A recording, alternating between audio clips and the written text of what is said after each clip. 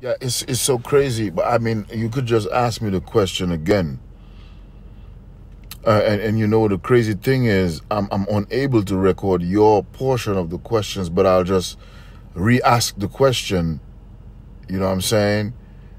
So that um, it could be recorded as well. So now you you ask me what question now?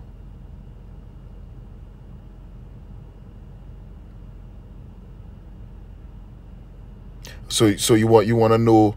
Uh, you're asking me what is my name and my title, and how I I, I came to to that conclusion. Well, I, I didn't come to no conclusion, you know, brother, and I appreciate the fact that you reach out to me. Um, you know, just just for the record, uh, I, had given you a card at one of the sweepstakes, and then you called me and um, started questioning me because you went on our website and found some information. So, you know, um, by that, I, I applaud you for reaching out. You know what I'm saying? And um, just to answer your question,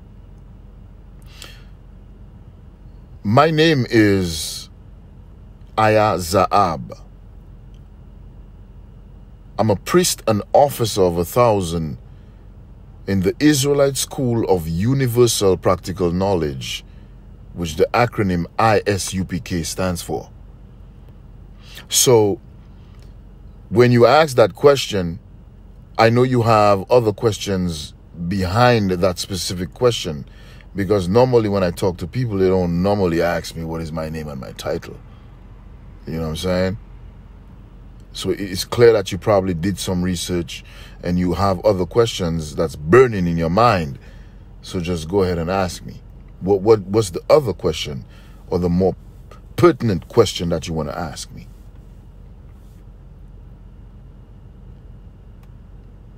Right. Okay, so so the brother the brother just just said um, he was kind of intrigued by the information that he watched in some of our videos, especially um, the unplug from the Matrix, because um, I was really more talking to him about that before I gave him um, my information so that he could contact the UPK, go online, check out the website, check out our different podcasts and stuff. Um, and I was showing him at that specific moment the unplug from the Matrix that we do every Friday from 12 to 2 p.m. Eastern time. And and there was there was you know I'm saying uh, uh, one of one of the uh, podcasts or, or, the broadcast that he watched that he was you know I'm saying he, he was kind of interested in and, and and this is why we're having a conversation now because he reached out. So now he just asked me um you know uh what what what, did you ask me brother? Cuz I don't want to misrepresent your question. So I'll just reiterate your question when you ask it to me now. So what was the question you asked me?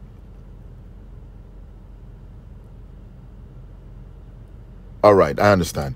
So the brother is asking me, um, am I just a regular dude, you know, um, with knowledge and then, you know, um, I'm part of this organization and stuff like that.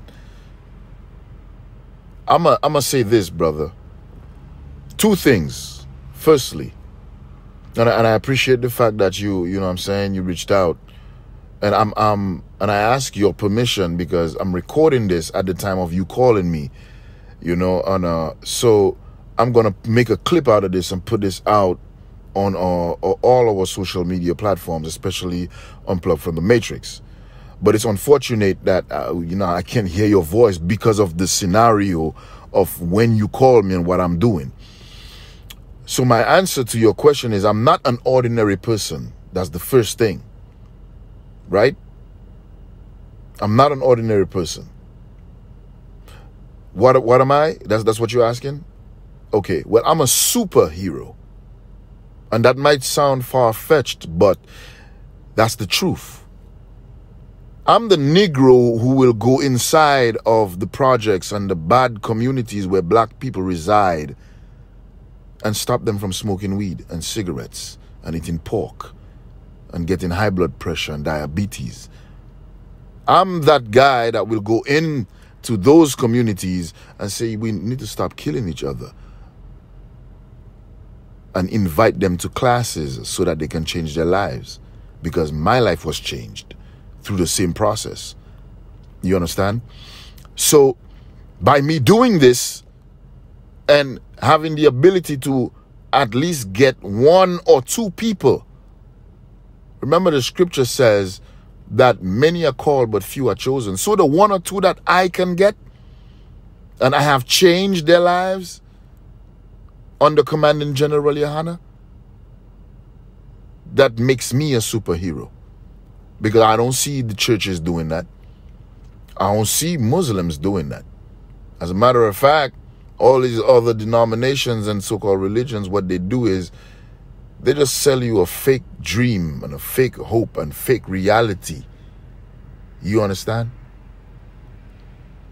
My leader, Commanding General Yahanna, he comes straight out of the mouth of the Bible, of God and Christ. You know?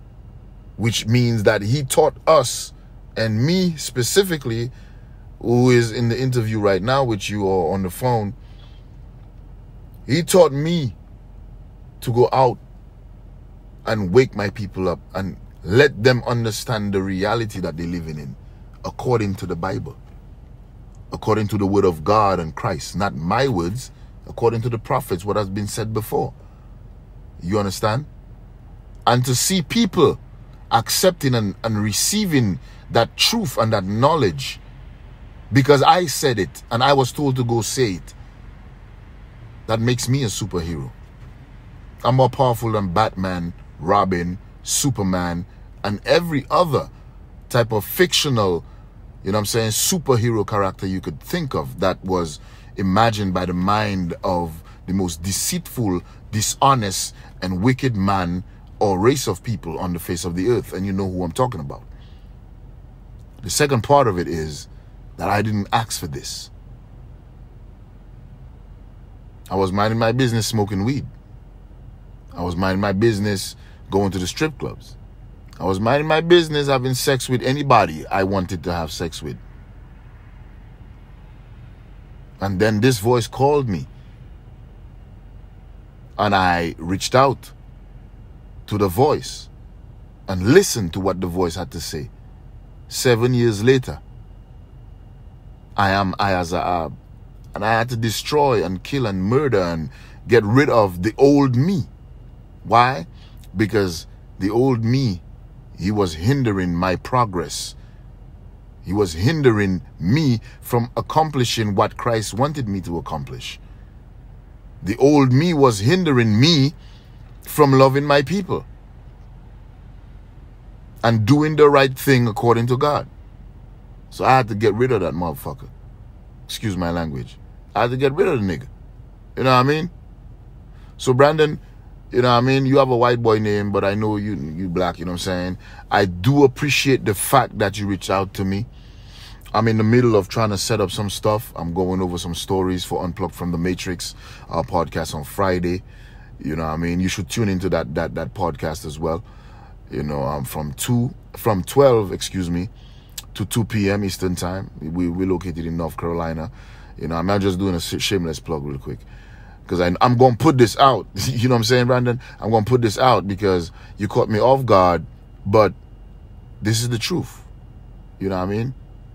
And you should try your best to go to the website, go into classes, ask questions, do your 90 days, check in, and do stuff like as we spoke about. You know what I'm saying? Like, I mean, you're a 27 year old brother. You know, I mean, I didn't mean to put your business out there like that, but we had a, a long, fruitful conversation at the sweepstakes. So, you, you know, at the end of the day, you should just do that, man. You know what I mean? And get unplugged from the matrix.